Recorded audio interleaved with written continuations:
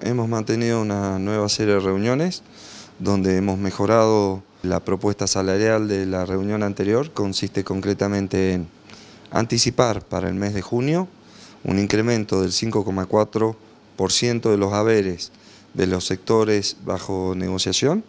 de los empleados públicos, este, llevando ese incremento para que tenga un impacto en el aguinaldo, a diferencia de que el resto de las políticas que cierre en agosto. Por otro lado, también hemos llevado incrementar el mínimo salarial y llevarlo a 6 mil pesos para los empleados de la administración pública, incrementar el valor de la asignación por hijo en un 30%. Todo esto hace una propuesta con un acto impacto en el mes de junio. Asimismo, para el mes de julio hemos previsto la adecuación de un concepto este, remunerativo no bonificable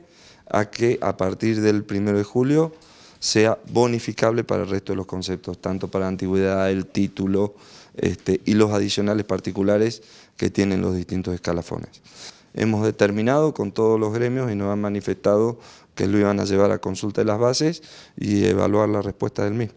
Nos hemos venido reuniendo tanto en la determinación de la política salarial como en las cuestiones particulares durante todo este tiempo y que se van a seguir trabajando a lo largo del año con distintos sectores sindicales porque hay distintos convenios colectivos en la órbita del Estado provincial que este, se van tocando distintos aspectos de los mismos. Estamos acompañando una política de crecimiento y redistributiva, que son las asignaciones familiares que ha realizado la Presidenta de la Nación, este, en un acompañamiento claro de lo que es este, redistribuir a los sectores de menores ingresos un valor superior en términos de la asignación por hijo, que entendemos es la asignación eh, de cabecera en el régimen de salario familiar, pero fundamentalmente este, es necesario destacar, estamos adecuados en el marco de lo que es la política salarial eh, nacional y regional,